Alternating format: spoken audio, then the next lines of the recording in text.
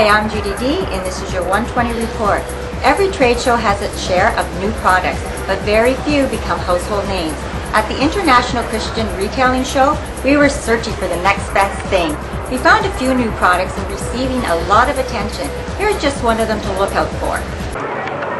Digital Praise creates and distributes games for the Christian market. They are probably best known for their Dance Praise series. Their latest game is a Christian version of a popular guitar hero called Guitar Praise.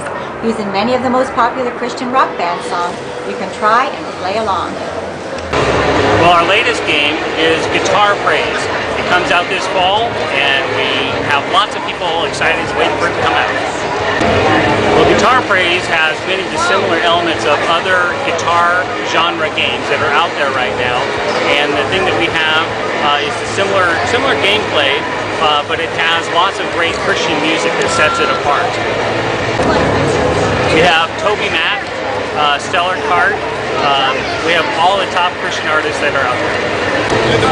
Guitar Praise will be yet another game that we can put in our catalog of spectacular games. This is hot on the heels of our latest uh, Dance Praise 2 the remix and all of our Dance Praise games.